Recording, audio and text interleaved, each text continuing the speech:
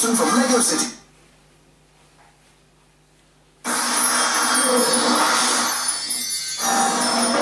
We start out real rough. We create a box. He's pretty much a square.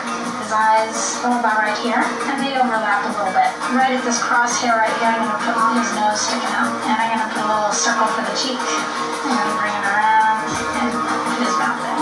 His teeth basically uh, are divided by this middle line right here. Then we put the little lip in. We put in the pupils, put on his tie, his shirt up here, and his pants down here. We put in his belt loops. Let me just start adding the details now.